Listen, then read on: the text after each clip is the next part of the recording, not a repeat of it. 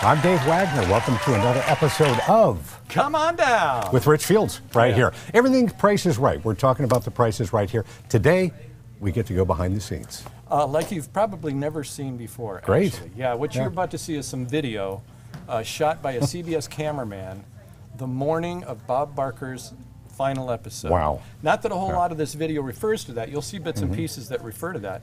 But uh, it's just, as you watch, it's just kind of interesting to know, wow, this guy's walking around this stage the morning of Bob's last show, you know.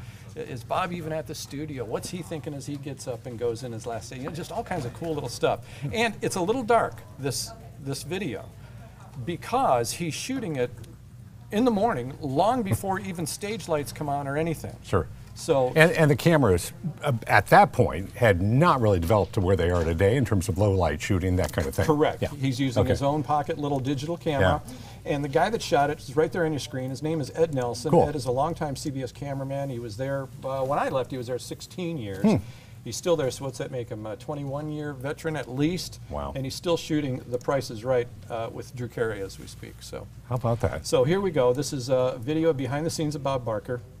I'm going to cut to it. I'm just going to start with this right here on Still Store because that plaque that you see there, Bob Barker Studio, it was dedicated March 11th of 98 on their 5,000th episode. Wow. In 98. Wow. That's amazing.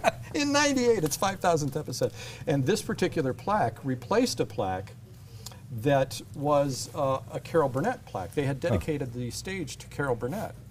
So now comes, they're going to rename it to Bob Barker. Years after it had been renamed Bob Barker, Carol Burnett came back to stage 33. Yeah. That's where she shot her Sure. show. You know, the, Oh, of the course, audience yeah. in the crowd. Yes. So she came back to reshoot a, uh, uh, uh, uh, what do you call those shows where they uh, Reunion? revival? Yeah, Yeah, reunion show. And so they took Bob's plaque down and Just Carol's just for that day? that day. Put Carol's back up 'cause- so Carol wouldn't know. So, so Carol, if you're watching and just found out that for the first Yeah. time, I'm sorry. Yeah. All right. You still are amazing. You There's are no doubt about it. All right. So. Um, I'm going to try to narrate along. Okay. Eddie, Eddie does a fantastic narration, but with technical Yeah. reasons here, I'm going to have to be the one to go ahead and, and uh, narrate along with you. Again, this Mm-hmm. is early in the morning, before anything has happened on Bob Barker's last day, and he takes you through what we call the elephant doors, massive doors. Now, what you're seeing is back behind the showcase doors. So, if you can imagine, that's you know door number two, uh, right there, and and and and. And he starts walking back behind the stages and everything. Would you mind pausing that for a minute? I sure can. Let me ask you a question. Is this Yes. the area that you broke into when you were a young man with your father? Uh, it was, it was, as you saw Eddie walk through the elephant Yes. doors, it was before that. When- Before when, that. You, when you saw the plaque. Yes, We- okay. that's where we at. That's where we you were. That, we were in that outer, we were in that outer Okay, hallway. let's go on Okay. here. All right, see those stairs to the right? Yes. A little difficult, but those stairs to the right, that went up after Bob left. And you said, where did, oh, they give you another studio? And I said, Right. oh, it was a palatial one upstairs? Yes. Those are the, those are the stairs that led up to that particular Oh, studio. wow. Okay. So we'll just uh, we'll just move along here. I'm gonna I'm gonna be going backwards and forwards for you guys so you can see. Again, this is this is just walking through the elephant doors. Uh, door number three on the far left, door two right in front of us, and door number one on the right. That little podium you see on the right, that's where the guard would normally sit and not let anyone in to do what we're what we what you're seeing right now. It's even before the guards got there. Yeah, you can tell nobody's there. Nobody. Yeah. Okay, so we'll just let this roll, and uh, we'll go through it step by step. How massive it is behind the stage. People Wow. always say, "Oh, the stage is so tiny," but it's it's really huge because there's a lot of set pieces and games that go back there. You can see some of the makeup. Uh, uh, uh, mirrors and so forth. Riches, that's my door right Mm-hmm. there to my dressing room. I told you my scripts would be in that little box uh, right there in the morning when I got in. And then, of course, right across the way is Bob's. And we talked about this in one of the very first episodes that on, on his door it said WGMC. Do you remember what, what that stood for by Tell- any chance? tell me again. World's Greatest, Greatest. Master of Ceremonies. Makes sense. Yeah. Can you count them all? A lot of Emmys there. 6, 7, 8, 9, 10, 11, 12, 13, 14, 15, 16, 17, 18 Emmys. Wow. Wow. Yeah, yeah, nuts, huh? So um, this is kind of stuff that people just don't see. He didn't go into Bob's dressing room. I got to give Eddie props for that. He didn't. he didn't break that third wall. You know, he didn't. Right. right. He did one thing right.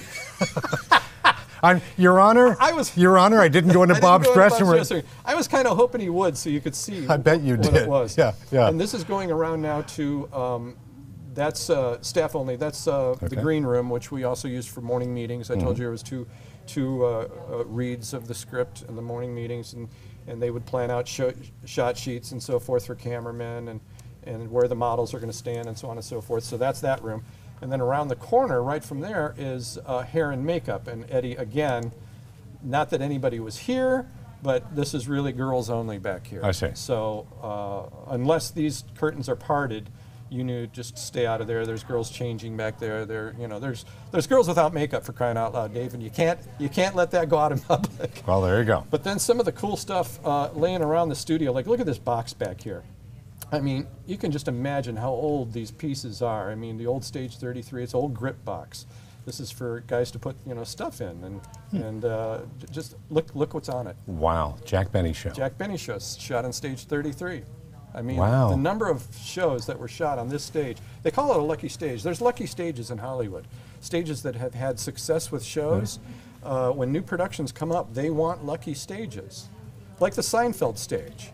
Okay, you know how many, you you know how many shows want to shoot on the old Seinfeld stage? I'm sure a ton, on the right? Lot. Yeah. Everybody wants to shoot there because it's a lucky stage. That's so interesting. I know, they really believe it. Huh. They really believe it. It's amazing that they didn't name it the Jack Benny Studio at one I- point. isn't it you know? though? Yeah.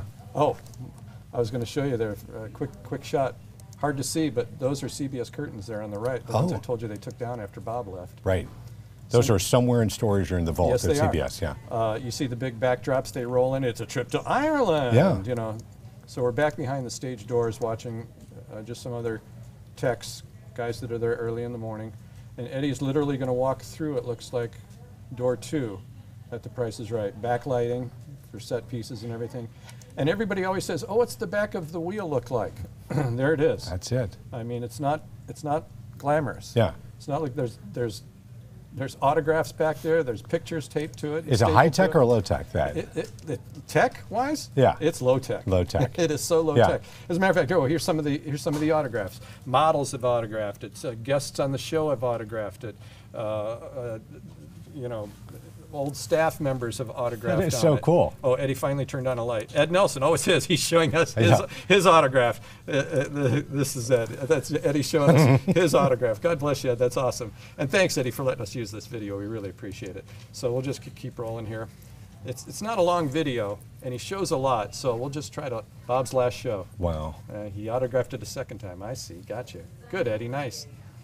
Appreciate that. Back of the wheel again. Plinko right there. Yeah. the back of Plinko. The old doors from season 35. The last season Bob worked. It looks so different with all the lights, doesn't, Doesn't it though? So now Yeah. he's now he's actually out front on the stage. All the cameras, even the Jibby Jim Boom and, Mm-hmm. and, and the other three, four cameras are all lined up shooting or what will shoot. This here is where that white board is. Yeah. They call this a Zelda. And it's a mannequin on the other side in a black sweater with some colors on her chest. And it's for color balancing, and this white is for white balancing. They have to balance Sure. the cameras before. Color bounce 'em. Uh, the um, talk about what a jib camera is there. Uh, the Jimmy Jib Boom is uh, the kind of the flying camera. It's uh, sorry, I went back a little bit too far, but it's a way to get those flying shots across the audience where you see it Right. sweeping and moving so seamlessly and beautifully. So that's the Jib Boom, and uh, How many seats are there out there? 300. 300. There's the jib, and the camera's right there on the Jimmy Jib. So they all point. They'll roll Zelda out here in a couple minutes. You can see the podiums up there. I think there's a better shot of Zelda as well. And Eddie told me, uh, I spoke with him over the weekend, and Eddie told me that Zelda, um, the name for that mannequin, actually came from a real person who used to do this. Really? A woman used to come out. I know, as wild as this seems, a, a woman used to come out and stand in front of the cameras in the old days, Yeah. and they would get color balance on on these colors she's wearing, and a white balance on on something white on her collar Sure. or something or whatever. And so, you know, that that just got cost prohibitive. and so they put up a mannequin, and, and That they, makes they, sense. they still call her Zelda. I mean, we still do that in television news where we hold up a piece of white paper to, to color balance a camera. Right, so right. makes exactly, sense, yeah. Exactly. So there's the front of uh, Plinko, and people always ask, "Oh my gosh, you know, what's it like to walk up the steps of Plinko? You know, what's it look like up there?" That's home base, by the way. Were you seeing those, uh, Oh, those two podiums for the Showcase Showdown? It's, it's, it's actually got two names, home base, and it's also called the turntable, because this big square part on the right actually turns around. Oh. So before things are revealed, the model will get back there Yeah. with their prize, and then they'll spin it around. It's so, it's a lovely video camera, and there's Rachel holding a, a video camera or something like that. So it's the turntable, and it's called home base. So from here, Eddie just goes up uh, the steps of Plinko, and the carpet isn't the best, even with bad lighting. I'll tell you right now, it's it's it's not it's not the best. But here's what it looks like when you look down Plinko. Oh, wow. As you stand up and look over the edge to drop your Plinko chips, you can see exactly where the ten thousand dollar slot is. Wow. You know, but at either side by the z- zero dollars. Was there a secret to this game, Rich, as far as you could tell? um, as far as I know, uh, Dave, no, no secret to the game. Um, people have done so many different things. They they put them down and spun them. They've started Yeah. on the far left, Sure. the far Yeah. right, straight in the middle. It, it just doesn't seem to matter. Huh. It's totally luck of the draw, you know. And, and Sure. there's never anybody behind these things operating them. I think the only one that anybody's behind is cliffhangers. Oh, okay. The Yodely guy. Yes, yeah. Because somebody actually has to move him up to the next stopping point. Sure. That's the only one, and, and it makes no difference to the gameplay. This guy moving this Right, thing. right. Anything that makes a difference to the gameplay, oh no, it had to it had to run on its own. You know what I mean? You weren't the yodeler, were you? I was not the No, yodeler, okay. no. So everybody always asks, what's it look like uh, when you're standing at the top of Plinko? That's what it looks like when you're standing up there looking at the audience. Where do I drop it? Over here? Yeah. Over there? Over here? Wow, look at all the lights. There's, wow. there's the four or five cameras, the Jibby Mm-hmm. Jim Boom and the five cameras getting ready to, to, to, to line up on Zelda. Um, this is where Bob Barker would make his audience entrance from. If he didn't come out on stage, he would do an audience entrance, and that, that'd be the lighted area back there. That's a sound booth just for house audio, music, microphones, Sure. things like that. This is a producer's table here. Mm-hmm. This is uh, really for Bob. Only Bob Barker ever sees uh, this tall thing on the right. And There's a little better shot of it coming up. This has the show number at the top and then the exact games in the order they're going to Wow. be played today. Nobody can see that in the audience. No one, no Yeah. one sees that. No one ever sees that. I never saw it. I never looked at it on show days. I mean, I knew what the games were coming up, and, and but it's just cool stuff for to think. Oh, the last day. Check it out. This is this is hours before Bob's going to do his final show, and there's no one there. It's dead silent. It's it's it's darn near dark. And by the way, uh, behind these colored curtains back here, up at the top is the director's booth Oh, hidden by curtains. They can't see the stage by looking through glass. They're totally operating by monitors back hmm. there. sure. And I'll show you a stairway to that here. Eddie shows us in a couple of minutes. So how difficult is being a good game show host? I mean, Bob made it look effortlessly. I mean, it was Extremely just effortless. difficult. Yeah. Oh yeah, he's he's totally the master. I mean, he, he was any show. I mean, I, I don't care what show's out there. Bob could sit with that show host and give him ten cool things they should be doing Wow. today to make the show better. Yeah. But he's he's just got an innate uh, second nature. Uh, my podium, you may be able to see it there on the left. It's hard to see, but that's the announcer's podium. It was uh, up up up front a little bit further. They pushed it back today because there was going to be so much press standing out that they uh, actually put it back a little bit. Huh. But we'll let the video roll. I mean, it just without all the lights, you look at it and it's Dull. yeah. I mean, I remember going behind the scenes one time for Wheel of Fortune. Same thing. You know, it's just so dark and Right. but you put the lights on you these. go. things. Oh, So, so he goes right up to it. So this is for Mr. Barker as he's standing on stage. I don't know what he needs the show number for. Oh, because sometimes uh, guests would ask during commercials, Bob, what show number is this? So we can, you know, watch for it and wait for it. It's 4035K.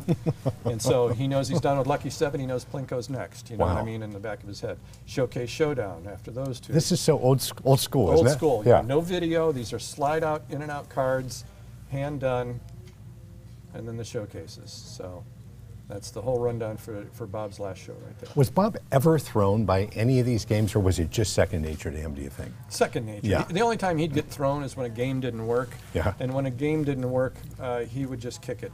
Yeah. Well, he seemed at his best sometimes when he did that, where right. he just People love that. Yeah. Producer's table here. We're Yeah. walking by, so where Roger Dobkowitz and Kathy Greco would sit. Wow. The, the, the seats beyond them are sound effects people, and uh, I think um, sound effects and something else. I don't know what else happened there. This would be this would be good to have Eddie on because he can. Here, this is this is sound effects too.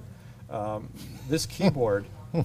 This keyboard back here is loaded with sound effects for different games. So depending on if you want ding ding ding ding ding ding ding, it's literally hitting. a They're ding, doing ding, that. ding. Wow, that is crazy. Yeah. that is crazy. I know, I know, it's it's nuts. But you know, when it's not broken, Dave, you don't fix it. Right, right. So you just you just leave things as as they are. Sure. So he's going to swing around and it's, oh, you can see the keys actually labeled with the various sound effects on them. Oh, shot sheet. Did you see the shot sheet? Oh. So everybody gets one of those. Remember I showed you about shot sheets? Sure. So you know exactly what's going on in Uh-huh. every game. So you you get that. That's what's in your door beside your door there, right? Uh, scripts and a shot sheet. And the, Gotcha. and the shot sheet I fill out during the morning meeting. All these big tables are for PAs. Every one of these seats are filled. They're all taking notes, saying exactly, telling exactly what the person bid, what each person bid, how it was. In case there's a problem, we can go back, we can stop tape, go back, recreate it if we have to. Hmm. Wow. Fixing the part that needed to be fixed. And it's also for records too. And either side of the tables, all these drawers, they're full of game pieces and cards and parts for very, there's the Godfather himself, Hmm. all full of game pieces and cards for each individual game that's on the show. So, I mean, it's, there's, there's a lot to it. Uh, Yeah. Pictures of models are also in here. Bob Barker autographed pictures. My pictures are all in these drawers. Anytime anybody asked for anything, this is where, this is where a, a PA production assistant would run and get it. There's prices, you know, reveals that the models would hold, you know, two thousand five hundred eighty dollars. Right. You know, there, there it is. And, right and they're not just winging it here because the California Gaming Commission is involved in this as well. This is an actual game. Oh yeah, absolutely. Ever since 21, you know, the uh, game show scandal of 21, uh, they, they clamped down on everybody. All the different models, just different stuff, just garbage, just hanging all over. All the old stuff, just everywhere. You know what I mean? That is great. And everything is so, you know, low tech here. It Yeah, just, you know, switcheroo, all the mm-hmm. game names on them and everything. Golden Road, Hole in One, clock game. All the pieces for each individual game are kept in these little sliding drawer boxes. so somebody's job is to keep up with all these items to make sure they get back in the right get spot. back in the right spot, exactly right, right. So that they're put out for the game from the shot sheet initially, and then, and then put back out, you know, put back away where they need to go. They're just old staff members and things from years ago. Uh, pick a pair, bonus game, danger price. A lot of these aren't even be played anymore. And this is, this is backstage of backstage, really. This is where uh, uh, pages would sit before audience members came in and where they could hang out. There's the old CBS curtains again up there. See them? wow. You would think they would have given me just one slice of one of those things, right? Well, you got the tiniest of little The, pieces, tiny, right? the tiniest of little well, you, swatch. but I- you may be the only person that has the tiniest of tiniest I little think pieces. I am yeah. actually. Yeah. I believe Eddie told me he tried to get some and he, he couldn't get any either. That's so. because you'd ruined it for him. I, I did. Well, I think he, I think he actually said when I showed up, I ruined him getting any other game pieces or any kind of memorabilia. And I, I, I apologize. yeah, you you owe Eddie something I was just such a such an eager kid. There's a stairway going up to uh, the uh, director's booth again. Let me let me Wow. scroll back a little bit. Sorry if I went back too far again, but I want you to see these stairs that go up to the director's booth. When I touch the uh, rewind at all, it goes way back. Right. Much Yep. further back than I needed to Oh, go. sure. It's like your So, television okay, remote. He does a little spin for us. Thank you very. Uh huh. Very artsy. Nice. Okay, so there's a stairwell that goes up to the director's booth, up behind the entire Hmm. Yeah. audience I was telling you about. And it's so thorough. Yeah. I mean, it's crazy. He he shot everything. Were you surprised when you got there um, what it looked like behind the scenes? Did you expect something different? Because you I were was totally surprised. Were you? I was shocked. Yeah. I knew Hollywood was uh, smoke and mirrors. And, smoke and yeah, mirrors. I yeah. realized that, and my dad even told me, "Oh, you know, it's going to look good out front, Yeah. but you go behind one little thing, and you're going to see the glitter coming off of you know the Sure, side of the thing." sure. That's exactly how it was. Just Holly Hallstrom, I'll be darned, long time uh, original model, Yeah. and just different pictures of different people to commemorate the day. Do you keep in touch with many of these people? Many no, a few yes. Uh-huh. I mean, everyone's kind of gone their own ways, and um, like Eddie, you know, I'm, I'm, I'm in touch with Eddie. Uh, The curtains there. yeah, curtains. I'm in touch with uh, Jeff Thisted. He was uh, a um, a production coordinator for the show. Uh, he and I are really good friends. So this is what it looks like if you're standing where the producers are, looking out on stage at Mr. Barker. This is kind of what it looks like from that perspective. A couple guys getting ready to line up those cameras on Zelda. Again, Plinko. And how early in the day do they start preparing for a show? Uh, probably 9 a.m. I mean, we didn't we didn't start shooting until you know before lunch. I mean, all the production meetings are going to start happening at about 10:30 or so in the morning. Right. And then we shoot two shows. And with Mr. Barker, we shot in real time, so we would shoot a show in, in an hour, and then uh, we'd break. We'd have another production meeting, and Eddie's walking outside now. Eddie's going to take you where the audience uh, go to, real quick. This is where they come from. We could actually make this a two-parter. Yeah, we could. There, there's a lot more. There's You're, a you're. I mean, you're not even halfway through this. There- Third a- of the way, maybe. There's a lot. Um, so this is the stairs that the audience comes up on. They all queue up outside. I think he might take you out to the queue lines. There they are. Oh. That's where everybody lines up outside, all the way down this thing. Two rows, two rows of people. There'll be, in, in the Bob Barker days, there'll be, oh, three, four, five shows of people out there. Time, Wow. Times 300. Sure.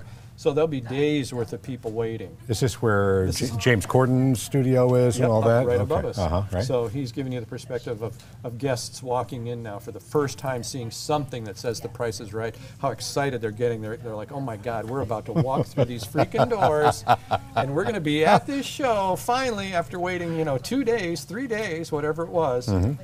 And uh, they round the corner and then you're like, music's playing, Right. you know? Yep, another plaque for those folks to see as well. Music's playing, lights are on, maybe not full show lights yet, but oh my gosh, right away your heart just immediately starts pumping. You- You're like, this is crazy. How hard was it to get tickets? Uh, well, to get a ticket is fairly easy, but then with, that ticket doesn't guarantee you to get in the show. You still had to stand in line. Oh, All right, so you still had to stand in line and be one of the first 300 or 600 because there were two shows a day.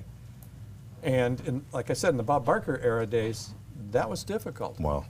People waited for days, and, by, and after he announced his retirement, oh, forget about it. It was it was three four Ev- day, three, everybody four wanted to see him one more time. Sure, Yeah. or or, or, Or at for the least first time. finally for Yeah, the first right. time. Exactly right. So this corner right here, where Eddie's chair is, that's where my Oh. podium would normally be pulled up, but because of this uh, show, they've pulled it way back. There's there were so many press there that day that they had to make room for everybody. These are all cameramen's chairs and everything. And uh, just it's really fascinating stuff uh, for the folks that have never seen behind the scenes of The Price is Right and what goes on. Shot sheets again. Every cameraman has a shot sheet uh, uh, pinned to his camera, so they know exactly what to do and where they're going in this particular act of the show. And there's Zelda. There's the front of Zelda. Oh, So, you know, real skin tones, a white collar around her shirt, and then the colors on the front. He gave Zelda a tap. And then the colors as well on the front of her shirt. Again, Wow. all lit up. This is very bright, and then they do their their uh, their camera their camera balancing from that. do they do this for many of the shows that have a have a Zelda? Uh, they have to camera balance for every Yeah, show, so I don't know what they use. I think probably it's a circle. Sure. I've seen painted uh, squares and circles Right. just sitting up there. We're kind of old school from the Goodson days, so Right. they still do everything. Uh, they still do everything the, the old-fashioned way. Wow, you look at this. It just, I mean, it doesn't look really anything It's- like it it's- does on TV. It's lifeless and dead. It really is. Without lights, without the audience, and everything else, Dave, it's it's fairly lifeless and dead. Oh, that's amazing. Well, Yeah. thanks for taking us behind the scenes, good. showing us this. We need to see more of this, though. Yeah, uh, there there's more. There's more. Uh, even on this particular tape that Eddie has left us, uh, let us use here. There's uh, Bob Barker's. After this, they taped Bob Barker's last episode. Mm-hmm. After that, Bob had a press conference for the international media. Hmm. No one has ever seen that. They might have seen little bits and pieces on the news that night. You know, hey, today was Bob Barker's last Right. episode, and you might see Bob out sitting in his chair talking, but nobody ever listened to what he said. And it was the only time that day. Remember, I told you when Bob and I shook Yep. hands goodbye, Yep. and I said, Bob, you know, Christy and I thank you. Uh, you changed our lives. Uh, we just Sure. want to let. And he didn't say anything. He just he just pumped my hand and he he grabbed my arm and pumped my hand and just walked off. And I said, Wow, I, I could see it in his face. He, if he said anything, he he might have teared up, and he and he didn't. You know, he kept it together. He kept it together the whole show, the whole day. But on this press conference, after everything was over, he's sitting in this beautifully tall director's chair, Bob Barker on the back, and the whole press is out now where the audience sits. And he had his microphone and he sat there and he answered all these questions. And I forget what the question was. We'll, we'll pick it up. I, th- I think it was something to the effect of, you know, Mr. Barker, what are you going to do tomorrow? Hmm. What's, what's the first thing you're, you're going to do tomorrow? And he started, and he put his mic down and